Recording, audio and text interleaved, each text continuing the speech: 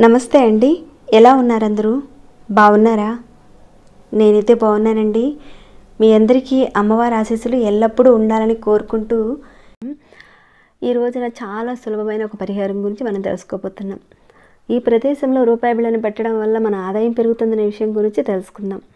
ముందు అసలు రూపాయి అనడానికి ఉన్న సంబంధం ఏంటో తెలుసుకోవాలి కదండి. కాస్త మనం తెలుసుకుందాం. మనం వ్రతాలు చేసేటప్పుడు అంటే మహాలక్ష్మి అమ్మవారికి సంబంధించిన పర్వదినాల్లోనూ శుక్రవారాల్లోనూ మంగళవారాల్లోనూ పౌర్ణమి ఇలాంటి రోజుల్లో అమ్మవారికి చేసే పూజల్లో ఒక్క రూపాయి నాణాన్ని మనం ఎక్కువగా ఉపయోగిస్తూ ఉంటాం. ఇంకానూ తాంబూలం ఇచ్చేటప్పుడు కూడా మనం ఒక్క రూపాయిని పెట్టి తాంబూలం ఇస్తాం. మహాలక్ష్మి అమ్మవారికి సంబంధించిన ఇష్టమైన వస్తువుల్లో ఒకటిగా ఈ రూపాయి బిళ్ళని కూడా చెప్తూ ఉంటారు. ఎందుకంటే ఈ రూపాయల నాణాల నుంచి వచ్చే ఒక మంగళకరమైన శబ్దం వల్ల వీటికి ఎంతో ప్రాముఖ్యత అనేది ఉంది. ఈ ఒక్క రూపాయి నాణంతో మనం చేసే అమ్మవారికి సంబంధించిన అర్చన వల్ల ఆ రూపాయి నాణాల నుంచి వచ్చే ఒక మంగళకరమైన శబ్దం వల్ల మహాలక్ష్మి అమ్మవారు ఆకర్షించే విధంగా ఉంటుంది. అందుకని ఈ రూపాయి నాణాన్ని మనం ఉపయోగిస్తూ ఉంటాం. ఒక రూపాయిని లక్ష్మీదేవికి సంబంధించిన పూజల్లో ఉపయోగించడం వల్ల ఇంట్లో లక్ష్మీ కటాక్షం అనేది పెరుగుతుందని చెప్పబడింది. అంటే మంచి విషయాలకు కారణమైన ఏ ఒక్క రూపాయి దానం చేసినా ఉపయోగించడం వల్ల ఇంట్లో ధనం బాగా పెరుగుతుంది. ముఖ్యంగా పొదుపు అనేది పెరగడానికి ఎక్కువగా ఉంటుంది. అలాంటి ఒక్క రూపాయితో అత్యంత శక్తివంతమైన ఒక పరిహారం గురించి ఈరోజు మనం తెలుసుకోబోతున్నాం. ధనవంతులు కావడానికి లక్ష్మీదేవి స్థిరంగా ఇంట్లో ఉండడానికి ఒక చిన్న పరిహారం ఇది. దానికని కొంత చిల్లర డబ్బులు అవసరం ఉంటుంది. తీసుకోండి. చిల్లర డబ్బుల్ని ఇంట్లో ఈ ప్రదేశంలో కనుక మీరు పెడితే ఖచ్చితంగా ధనం వస్తూనే ఉంటుంది. ధనవంతులవడానికి లక్ష్మీదేవి మీకు సహకరిస్తుంది. లక్ష్మీదేవి మీ ఇంట్లో స్థిరంగా ఉంటుంది దరిద్రం మీ ఇంట్లో నుంచి వెళ్ళిపోతుంది. లక్ష్మీదేవి మీకు ఆకర్షింపబడుతుంది. మీ డబ్బు రాబడి రోజు రోజుకి పెరుగుతుంది. అలానే మీకు వృధా ఖర్చులు ఏవైతే ఉన్నాయో అవన్నీ తగ్గుతూ ఉంటాయి. ఆర్థికంగా ఏవైతే సమస్యలు ఉన్నాయో అవి కూడా బయటికి వెళ్ళిపోతాయి. మీ ఇంట్లో ధనం బాగా వృద్ధి చెందుతుంది. అలానే దాంతోపాటుగానే కుటుంబ సభ్యుల మధ్య ఏమైనా సమస్యలు ఉంటే అవి కూడా తగ్గుతాయి.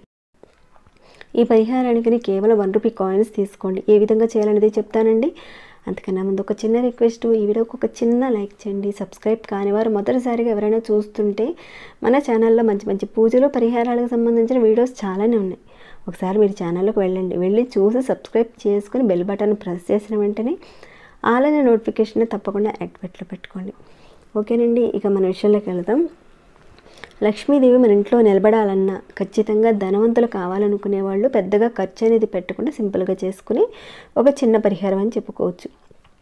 తంత్ర పరిహారాల్లో ఇలాంటివి చాలానే ఉన్నాయి. చాలామంది అడుగుతున్నారు కదండి ఖర్చు పెట్టకుండానే చాలా సింపుల్గా చాలా అత్యంత శక్తివంతమైన ఏవైనా పరిహారాలు ఉంటే చెప్పండి అని అడుగుతున్నారు కదా. చెప్పుకున్న వాటిల్లో నుంచి ఇది చాలా చిన్న పరిహారం చాలా చిన్న పరిహారం అయినా సరే అత్యంత శక్తివంతమైన పరిహారం. ఈ చిన్న పరిహారం చేసి చూడండి. ఖచ్చితంగా రిజల్ట్ అయితే ఉంటుంది. ఇక్కడ మరొక విషయం అంటే డబ్బులు కట్టలకు కట్టలకు అంటే ఈ పరిహారం చేయంగానే డబ్బులు కట్టలకు కట్టలకు వస్తాయని మాత్రం నేను చెప్పటం లేదు. మీకున్న స్థితి నుంచి కాస్త మార్పు అయితే మీకు ఖచ్చితంగా కనబడుతుంది. మీరు ఈ పరిహారాన్ని చేస్తూ వెళ్ళారనుకోండి మీరు అవతల వాళ్ళకి డబ్బులు ఇచ్చే స్థాయికి వెళ్తారు. అంత బాగుంటుంది ఈ పరిహారం. ఈ పరిహారాన్ని ఎప్పుడు చేయాలి ఏ రోజు చేయాలనేది చెప్తానండి. ఎందుకు ఎప్పుడు చేయాలంటే ఏదైనా ఒక రోజున అంటే శుక్రవారాల్లో కానీ లేదంటే పౌర్ణమి రోజుల్లో కానీ మీరు స్టార్ట్ చేయండి. మరీ మంచిదని చెప్పుకోవచ్చు ఇలాంటి రోజుల్లో చేస్తే. మామూలు రోజుల్లో కూడా చేసుకోవచ్చు కానీ పౌర్ణమి ఇలాంటి రోజులు వస్తాయి కదండి. ఆ రోజుల్లో మీరు స్టార్ట్ చేస్తే ఇంకా బాగుంటుంది. ఈ పరిహారం చేసే రోజున మీరు ఏం చేస్తారంటే స్నానం చేసిన తర్వాత ఈ పరిహారం చేసుకోవాలి. స్నానం చేయకుండా చేయకూడదు. స్నానం చేసి చేయండి. మీరు స్టార్ట్ చేసే ముందు ఉదయం అయినా సాయంత్రం అయినా టైం అంటూ ఏదీ లేదు.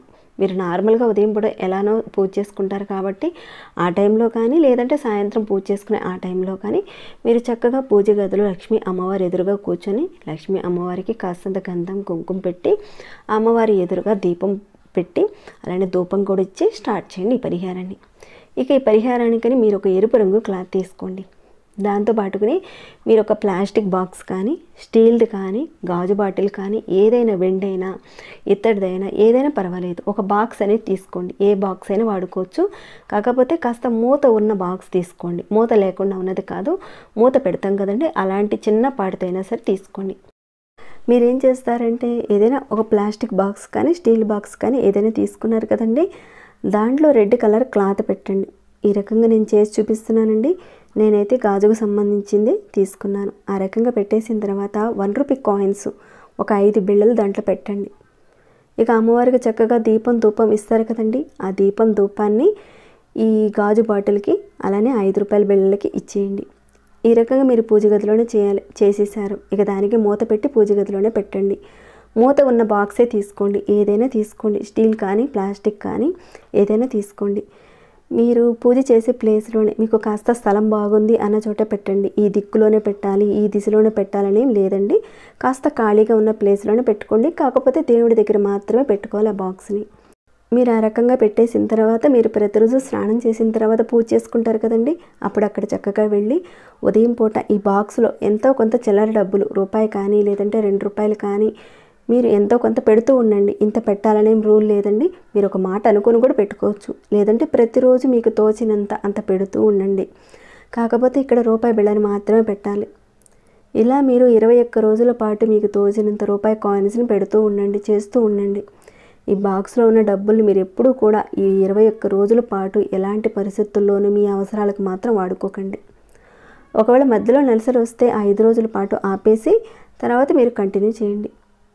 మీరు ఇంతకుముందు చేసిన రోజులన్నింటినీ కూడా మీరు కౌంట్లోకి తీసుకొని తర్వాత మిగతా రోజుల్ని మీరు చేయబోయే రోజులను తీసుకొని ఇరవై ఒక్క రోజుల పాటు చేయాల్సి ఉంటుంది. ఇక ఇరవై రెండవ రోజు మీరు ఏం చేస్తారంటే ఆ బాక్స్లో ఉన్న డబ్బులన్నింటినీ కూడా మీరు ఏదైతే ఆ బాక్స్లో క్లాత్లో రెడ్ కలర్ క్లాత్లో పెట్టారు కదండి ఆ క్లాత్తో సహా మీరు తీసేసి మీరు ప్రతిరోజు రూపాయో రెండు రూపాయలు అలా వేస్తూ ఉంటారు కదండి. ప్రతిరోజు ఒక రూపాయి వేస్తూ ఉన్నారనుకోండి ఇరవై ఒక్క రోజుల పాటు ఇరవై ఒక్క రోజుల పాటు అలానే మొదటి రోజు వేసిన ఐదు రూపాయల కాయిన్స్ ఈ రకంగా మొత్తం చూసుకుంటే ఒక ఇరవై ఐదు రూపాయల దాకా అవుతుంది. మీరు ఎంత వేస్తారో అంతకు తగ్గట్టుగా క్లాత్ తీసుకోండి మూట కట్టడానికి. ఆ క్లాత్లోనే మీరు చక్కగా వీటన్నిటిని కూడా కట్టేయాలి. ఇలా మీరు కట్టేసిన ఈ మూటని ఏదైనా దేవుడి గుడిలో హుండీలో వేసేయండి.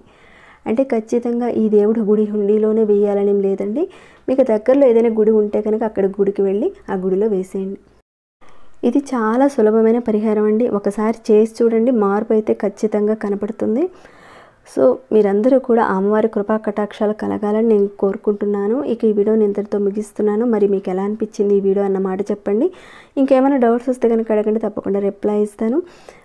ఇంకా లైక్ చేయకుండా ఉంటే ఒక చిన్న లైక్ చేయండి. సబ్స్క్రైబ్ కాని వారు మన ఛానల్కి సబ్స్క్రైబ్ కండి. ప్రతిరోజు మన ఛానల్లో ఉన్న వీడియోస్ని చూస్తూ ఉండండి. మరొక భక్తి వీడియోలో మళ్ళీ మిమ్మల్ని కలుసుకుంటాను. అంతవరకు సెలవు.